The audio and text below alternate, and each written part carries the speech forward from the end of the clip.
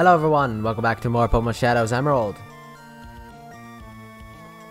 I was about to say yellow, I had it in my head, but anyway, we're back. I did not do anything to Poochyena to level it up because it already is part of the team in that sense. So let me just switch this around and go over to the next trainer, which is over here.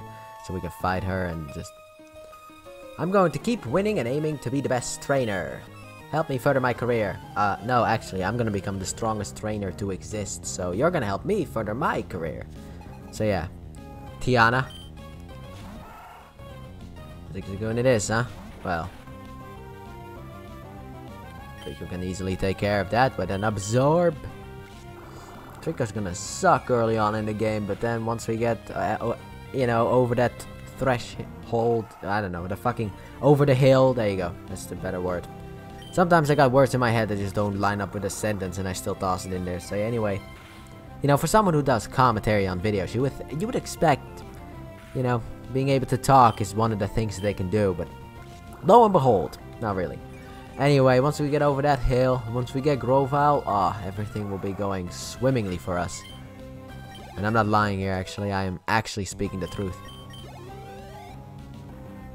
Shroomish it is, well, Poochyena it is. Get in there. Take out this, uh, Shroomish. Oh, man. Ah, Shroomish, yay. I'm also gonna own more than six Pokemon. And that's not over the course of the end of the game. No, I mean in this game. I'm gonna own more than seven po- uh, seven, yes.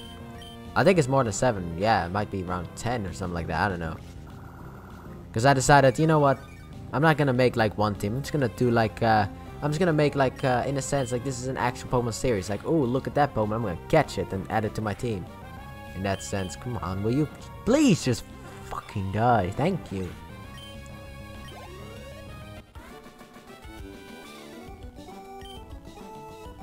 I ended up furthering your career. Yes, you did. Thank you very much. I appreciated that one. Let's pick up this uh, potion. A whole one potion, actually. You may also be thinking, are, are you going to use a Pokeball uh, Pokemon that you own? Are you going to catch a Pokemon in a Pokeball? Yes, because the way that I see it, Treecko comes in a starter ball, which, I don't know, let's just say it's like a Pokeball with like a green leaf on it or something like that. I don't know. Or just an S on it for starter. Welcome to Petalburg City. First up, we must heal. Yeah, welcome to the Pokemon Center, yada yada yada. Come on. I don't need to hear this. I already heard it, heard it enough in uh, Yellow. I also don't know like what my end team is gonna be. I don't know what...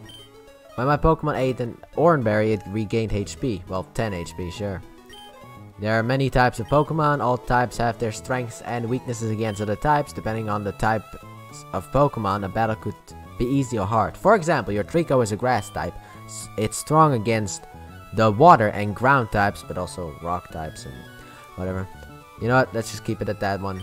But it's uh weak against fire Pokemon and bug and flying and ice and poison and yeah. We'll power through, don't you worry about it. That PC-based Pokemon storage system, whoever made it must be some kind of scientific wizard. It was you, wasn't it? Hello there, trainer. You've got a wonderful smile there. I have a hobby, collecting the profiles of Pokemon trainers. So how about it? May I see your profile? Sure. Thank you, let's see then. I am a Pokemon villain. Dah. I'm a Pokemon abuser. I don't know.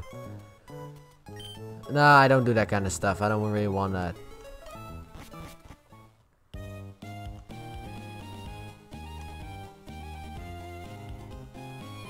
I also don't know if my mic is picking up my headset. I don't think it will, but even if a Pokemon is weak now, it'll grow stronger. The most important thing is love. Love for your Pokemon. Yeah, yeah, yeah. No, it's not. Do you use Repel? It keeps Pokemon away, so it's useful when you're in a hurry. I'm actually very mean to my Pokemon, to be honest. Do you think... Do you have any antidotes with you? If you walk around with a poisoned Pokemon, it will lose HP until it faints. Take some antidotes with you. I was hoping he would give it to me. I'm actually pretty mean to my Pokemon because the fact that, uh, you know, my dad lost the league and then kind of like... He's never really been nice let's say you have six Pokemon, and if you catch another one, it is automatically sent to the to a storage box over a PC connection. Yeah, yeah. Anyway, uh, after that, my dad lost the league and you know became a gym leader. I kind of saw that as giving up, and so I didn't want to be weak like him. Where is our Wally gone? We have to leave for Verdanturf Town very soon. Also, my brother tried out the uh, Pokemon League challenge in Hoenn and lost as well, so yeah, not, I don't come from the best of families, but maybe I can make it. So that kind of made me a bit bitter towards it, and you know, where it's like, strength is all that matters. Don't you worry, that'll change. I battled Norman once, but whew, he was way too strong. How would I put it? I just got the feeling that he lives for Pokemon. Yeah, not for his family. Norman became our town's new gym leader. I think he called his family over from somewhere far away. That's basically hinting at the fact that you are not actually from uh, Hoenn, but fuck you, I'm from Hoenn. My face is reflecting in the water. It's a shining grin full of hope, or it could be a look of somber silence struggling with fear. What do you see reflected in your face? Despair. Just despair. Failure. As well. There we go. Traveling is wonderful. When I was young, I roamed the seas and the mountains. I wish I could go on an adventure with some Pokemon, crawling, crawl through some damp grass, climb rocky, rugged mountains, cross the raging seas, wander about in dark caves, and sometimes even get a little homesick. It must be fabulous to travel. Not really. I mean, if you look at Pokedex entries, it's horrible to travel. Seriously, it's absolutely awful. Uh, we got one more house to go. Ah, this jackass. We gotta run. Hey, uh, are you maybe a rookie trainer? Do you know what Pokemon trainers do when they reach a new town? The first... They first check what kind of gym is in the town. He's got actually a point. That's usually what I do. See, this is the Petalburg City Gym. This gym is, uh, this is the, the gym sign. Look for it whenever you're looking for a gym. I'm also gonna try and get as many gym badges out of order as possible. Alright, fuck it. We're going in here. We are. I challenge you to battle, Dad. Hmm. Well, if it isn't Shadow. Well, if it isn't Shadow. I could use it. I knew it. I knew I was saving that one for this game specifically. Sorry. If you're all finished moving in. Oh, I mean, I think he said so. You're all finished moving in. I'm surprised that you managed to get here by yourself. Well, fuck you too, Dad. You piece of shit. Oh, I see. You're with your Pokemon. Oh, now I understand. I mean, your useless ass would never be able to make it over to me, but you got a you got your Pokemon, so you that's why. Oh. hmm, then I guess you're going to become a trainer like me. That me that's great news. I'll be looking forward to it. You jackass, I hate you. Uh, I I'd like to get a Pokemon, please. Hmm. You're ah oh, oh right. You're Wally, right? I'm going to go stay with my relatives in Verdanturf Town. I thought I would be lonely by myself, so I wanted to take a Pokemon along, but I never caught a Pokemon before. I don't know how. Hmm, I see. Shadow, you heard that, right? Go with Wally, make sure that he safely catches a Pokemon. Oh, instead of hi, I get this shit. Wow. It's like my real life dad. He also doesn't like me at all. Here, I'll loan you my Pokemon. Oh wow, Pokemon. Why didn't you just give him the Pokemon? Hmm, I'll give you a Pokeball too. Go for it. Oh, wow, thank you. Would you really come with me? Apparently I have to. It's not like I want to, it's because I have to. God damn it. I actually like Wally. Shadow, Pokemon hide in tall grass like this, don't they? Please watch me and see if I can catch one properly. Whoa! ah! Pokemon! Oh, get the fuck out of here. How the hell did you find that one? That's like a 2% chance and it actually I think it's 4. And I think I'm not I'm actually not joking about it. I think it's actually 4% chance that you can find a Ralts in this play. You jackass, you're not supposed to find a Ralts in here. What's wrong with you? I also can't believe that this is only part 3. I was expecting this to be part 4 already. Hmm. I mean, I did start later and also did some testing beforehand to kind of get the audio corrected. There were you throw a ball now, right? Yeah, toss a ball. Sure, why not? I did it. I tossed a luxury ball and got myself a 6 I mean, Poochyena. I also wanted to talk about other things, but, uh, I don't know. That was like a story I wanted to tell for a while now. It's uh, when I got my Avermedia Game Capture. I'll tell it now. So I got my Avermedia Game Capture HD 2, and when I learned that I needed the external hard drive, alright, I did it. It's my my Pokemon. Shadow, thank you. Let's go back to the gym. Kinda wish we walked back, to be honest. So, did it work out? Thank you. Yes, it did. Here's your Pokemon back. Shadow, thank you for coming along with me. You two are why I was able to catch my Bowman. I was why. Not him. I promise I'll take really good care of it. Oh, my mom is waiting for me, so I have to go. Bye, Shadow. Now, Shadow, if you want to become a strong trainer, here's my advice. Head for Rustboro City, beyond this town. There you should, you should challenge the gym leader, Roxanne. After her, go on to other Pokemon gyms and defeat their leaders. Collect badges from them, understood? Of course, I'm a gym leader too. Well, battle one day, Shadow. That's only after you become stronger. Now, it's like, I think he, later on he says like, okay, now that you have four badges, we can fight. Like I promised, but he never says it right here that that's actually gonna happen. But anyway, now back to my, uh, can't actually. I'm sorry, I can't. Because this is happening. Scott, me boy, you looked a lot fatter in the anime, to be honest. Excuse me, let me guess, you're the... Let me guess, from the way you're dressed, you're a Pokemon trainer. No. I'm a connoisseur. Nah, I'm a Pokemon trainer. Hmm. Well, maybe not. Your clothes aren't all that dirty. Either you're a rookie trainer, or maybe you're just an ordinary kid. Why don't you battle me to find out, huh? I'm roaming the land in search of the, the talented trainers. I'm sorry to have taken your time. Alright, done with that shit. Oh, fuck, now what? Hmm. Yeah, you know what, I'll do... Fuck it. I was thinking of something, but I'm not gonna do it, so... Here we are, Route 104. Wow, that took... That didn't take long at all. Anyway, back to my story. So I learned that I needed an external hard drive for my Avermedia Game Capture HD 2, which is in my opinion a shitty ass thing, because uh, I wanted that one in a sense specifically for recording PS3 because I can't do that with Roxio. Turns out I can't do that with that thing either because... Hi Taillow. How you doing today? Um, I actually wanted Taillow, but it, uh... Ah, fuck it, I'll try it. It's level 5, it's like in primo condition, condition in that sense. It's a mwah condition. I must have you. I'll use an absorb. But yeah, anyway, so when I afterwards I ordered my external hard drive. Well, that didn't work out at all. That didn't work out at all. Couple more packs and you're dead. Holy crap, one more pack and you're dead. I'm gonna switch you out because I don't want you to faint ever. Anyway, um, so I uh, ordered an external hard drive, and then when it arrived, apparently the the delivery person decided that it was a good idea to toss that thing through the window. Yep, I'm not even joking about that one. He basically picked up the pack. Like, I heard the doorbell, but when I was downstairs, when I got downstairs, he was gone. There you go, I caught my second Pokemon. Anyway, when I was downstairs, uh, the I saw like the van drive away. Taillow, tiny swallow Pokemon. Although it...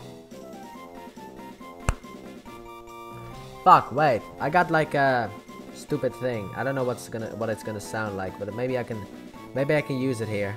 I got like a data dex on my phone. Maybe I can use it here. G give me a minute here. Give me, give me a minute here. Give me a minute here. Where are you? Taillow, Taillow, Taillow. Ah, Taillow. Let me see here. I don't know if this is actually gonna work. Um, this is how I do it, right? courageously stands its ground against foes, however strong they may be. This gutsy Pokemon will remain defiant even after a loss. On the other hand, it cries loudly if it becomes hungry. There you go, that's Taillow's Pokedex entry. I wanted to do that for a while, actually. You know, in the, in this LP, I'm gonna do that forever. I'm gonna check back, by the way, how it sounds, but... Anyway, but the the, uh, the fucking delivery person decided to toss it. It was it was an open window, granted, but yeah. I don't know if that's what you're supposed to do, by the way. Just toss a package through an open window. I probably should do one of these actually for uh, and uh, Treecko as well. Why didn't I do this before? Uh, here we go. I don't even know if their Pokedex entry changes. Here we go. Wood gecko Pokemon. Treecko has small hooks on the bottom of its feet that enable it to scale vertical walls. This Pokemon attacks by slamming foes with its thick tail. Oh, that's it. I hope you can hear that, because I don't know how much higher I need to get the fucking volume. Then... Oh, no, no, no, shut the fuck up, hey! No, no, no, no, none of that bullshit. I got an ad. Son of a bitch. I got an ad, it was... Alright. Right, stop, stop. Alright, here we go. Poochyena time. Poochyena, the bite Pokemon. Puchina, not Puchina. sight, Poochyena takes a bite at anything that moves. This Pokemon chases after prey until the victim becomes exhausted. Uh-huh. However, it may turn tail if the prey strikes back. Wow. oh man, that's funny. Uh, I wasn't expecting that ad to be honest. But I'll do that after every Pokemon I catch. I just need to uh, listen to what it sounds like. That way I don't have to fucking read what it says. Even though the Pokedex entries I do change between games, I don't care. No you. Hi, are you maybe a rookie trainer? Do you know what Pokemon trainers do when they read? Really? You still say the same st- I thought I was gonna say something new. Um, but yeah. Let's see here. You're ah, you must be Shadow, right? Thank you for playing with Wally a little while ago. Well, not really playing, but I, he's been frail and sickly ever since he was a baby.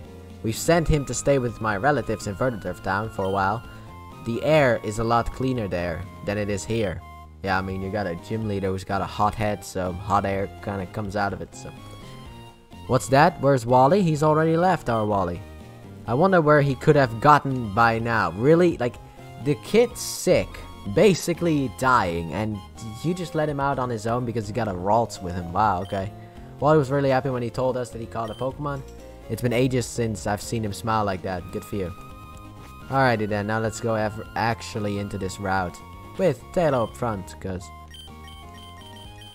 I don't know. I kind of feel like I need to do a little bit of the grinding in that sense. You, if you're going to throw a Pokeball, weaken the Pokemon first. It'll be easier to catch if it's been poisoned, burned, or lulled to sleep.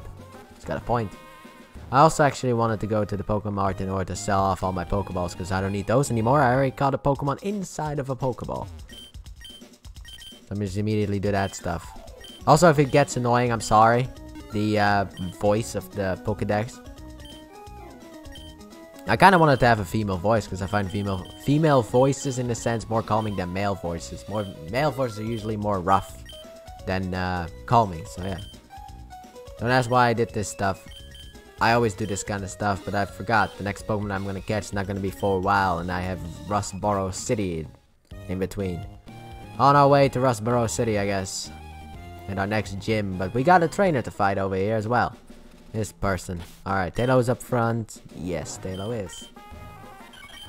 I don't know, man. Whew. Back.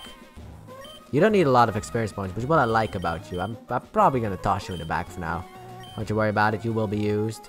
Oh, fucking hell, I was standing there. Leaving fruit brands in the sand is so fun. No, it's not. But yeah. Also, I uh, I know this might not be for everyone, but I listened to a new Linkin Park, new-ish Linkin Park song. What are you worth? I think it's called. Um, I listened to that a while ago. Don't worry about it. Apparently, it was one of the two deleted songs from uh, One More Light, and my God, it, to me, it's a banger. I really love the song, but apparently they didn't want it on the album, so you know, which is kind of understandable if they don't want it on the album. It, you know, I like that as well. But I kind of feel like, you know, you could still release it. Like, Linkin Park used to do that all the time, in a sense, you know, with like their underground uh, albums or whatever you want to call them, EPs, whatever. They always like had like deleted songs, you know, cut songs, demos, all that stuff. So I feel like What Are You Worth and even Ricochet, which is a song that's still unknown to the public, um, actually would have probably been released.